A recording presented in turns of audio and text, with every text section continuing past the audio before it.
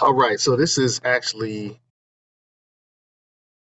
assignment 5.2. So 5.2. All right, so here's what you need to know to do 5.2. y equals mx plus b. We call this standard form. Let me type that out very quickly. We call this standard form. S-T-A-N-D-A-R-D form. Okay, so y, and the y is the y value. You know, when you look at parentheses x comma y in parentheses, the y value, this, you know, that's the y value, right? This is the y value. All right, what we're talking about is this. We're talking about the x comma y. This y is this y, okay? And then we have m, which is slope. And one thing about slope is a lot of times slope is a fraction. So I'm going to put it over 1 for right now. But a lot of times slope is a fraction. So when you see slope, you're going to see it in a fraction form. If you don't see a fraction, then it means that um, there's a 1 under it. So let, let me show you what I mean. Let me show you what I mean. Let's say we have 5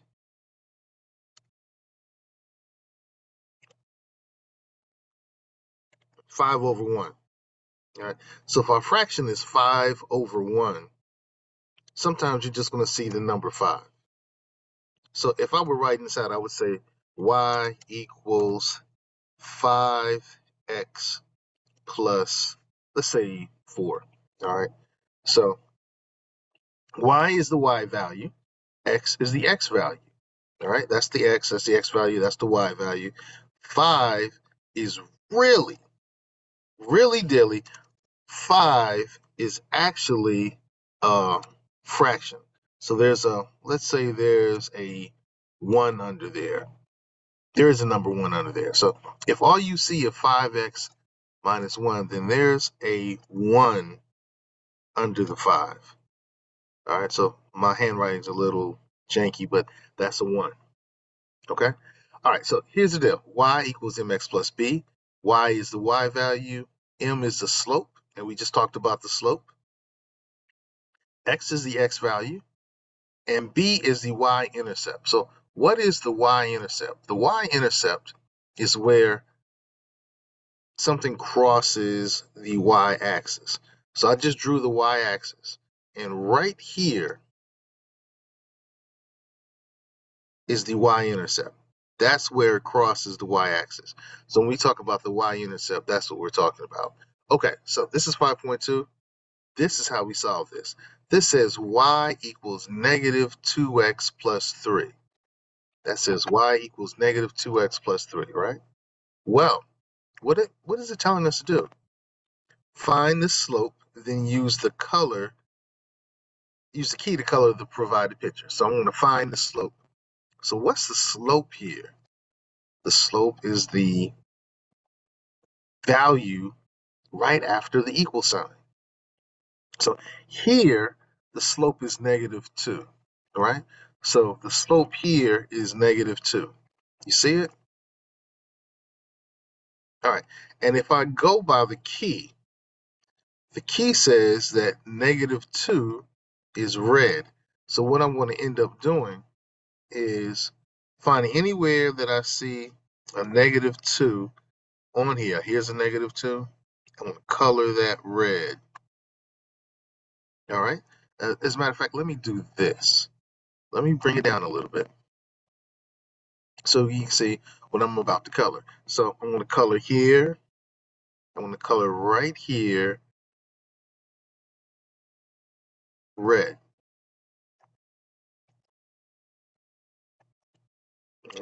That's negative 2. Here's a negative 2. I'm going to color that red.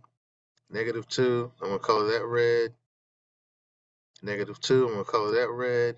Negative 2. I'm coloring that red. Negative 2. I'm coloring that red. Oh, here's a negative 2. So everything that's a negative 2, I'm going to color it red. So that's how we're going to solve these problems, all right? that's how we're going to solve the problem. So let's go back to the equations and let's find the slope. In this one, y equals 5 minus 3 fourths x. Okay, so normally the slope is right behind the equal sign. But in this case, the slope is here. So I should probably say that the slope always has the x behind it. The slope always has the x behind it. So in this case, y equals 5 minus 3 4x. So the slope is negative 3, 4. So I'm going to go down here and I'm going to find negative 3, 4, and I'm going to color it green. So wherever I see negative 3, 4, I'll color it green. Uh, let's see, here's negative 3, 4, so I'm going to color that green. All right, here's negative 3, 4, I'm going to color that green. You see what I'm doing? Negative 3, 4, I'm going to color that green. Negative 3, 4, I'm going to color that green. Yes, that's what you're going to end up doing. That's how you're going to solve these problems. Okay?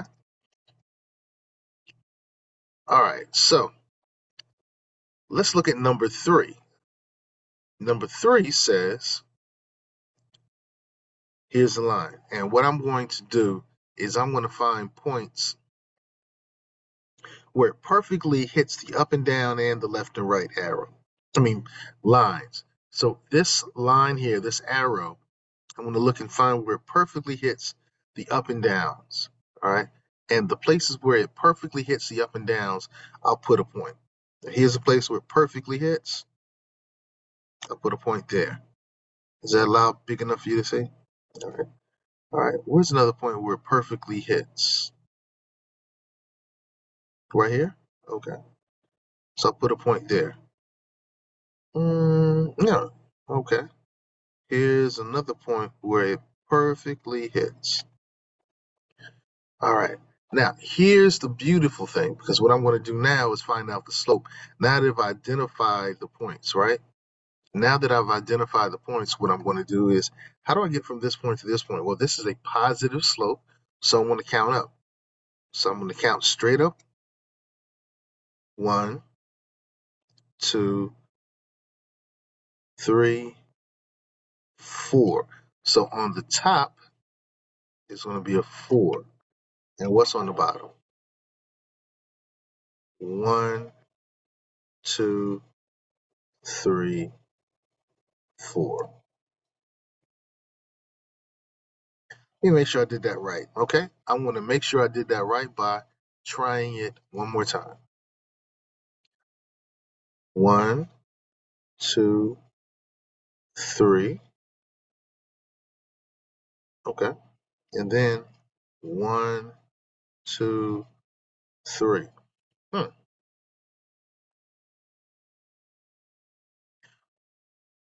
While I'm looking at this, I see that there is also another point here. So this is interesting because I ended up with 3 over 3 this time. Now, if you use your calculator and you divide 4 over 4 or 3 over 3, in both cases, you're going to get 1. in both cases, you're going to get 1, which means that I went up 1 and I went over 1. All right, so my slope for this one, my slope for number 3, the slope is 1. Even though I made a mistake and I didn't count it the same way, it let me know when I worked everything out that the slope here is 1. Let me make sure. I'm going to do one more check just to make sure I'm doing it right. Okay, so watch this.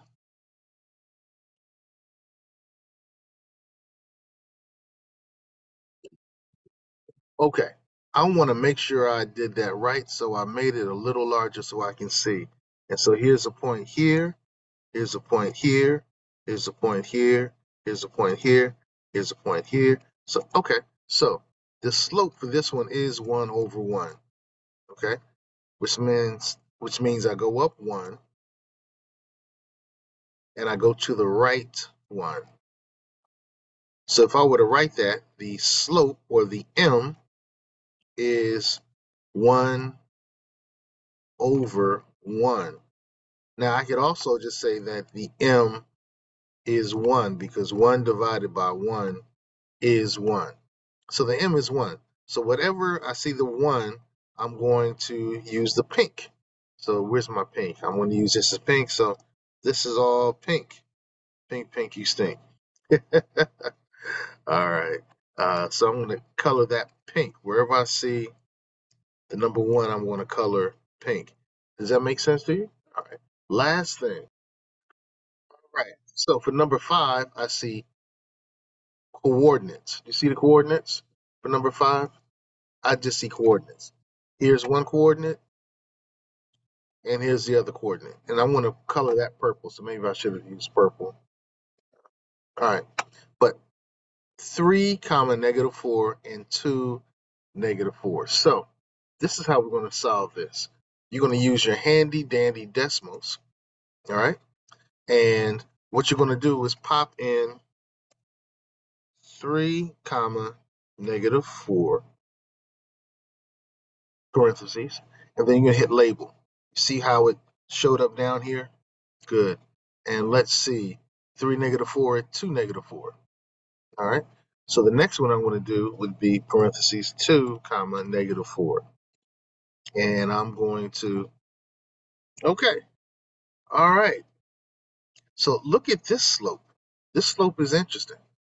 This slope is really interesting because I could just draw this slope and it stays it stays horizontal. It stays horizontal. So what do we call a horizontal slope? Well, this is a positive slope. It starts at the bottom and it goes up. This is a negative slope. It starts at the top and it goes down if it's a flat line, if it's just a straight horizontal line, horizontal, flat, straight line, horizontal, it's called a zero slope. And if it goes straight up and down, straight up and down, we call that an undefined slope. So now that we know those things, I think we can figure out what colors to use. Okay, so as you see here, the line is straight it's a straight line. So that's a zero slope.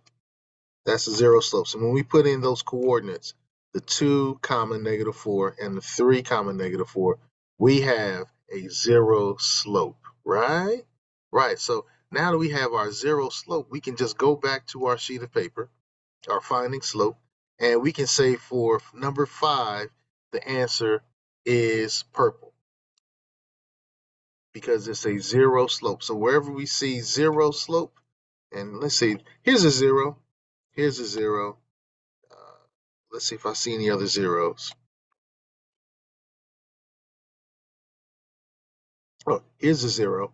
So there's a zero, here's a zero. Uh, no, actually, that's not a zero, that's just a design. But I did see, here's a zero, here's a zero here, and here's a zero here. So I'll use the purple.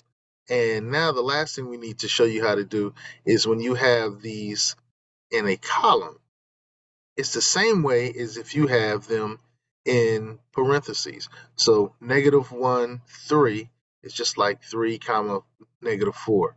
So what you could do, if you want to make sure that you answer this correctly, you can just do this. Put it in a parentheses. Yep. Yep. Just put in your parentheses. So you have your x, comma, and you have your y, right? So just put in parentheses 2, comma 12. You know, over here, parentheses 2, comma 3. And you can say, okay, the x is 2, the y is 3. And you can do the same thing and just go back to your Desmos calculator. And in your Desmos calculator, let's do this 212.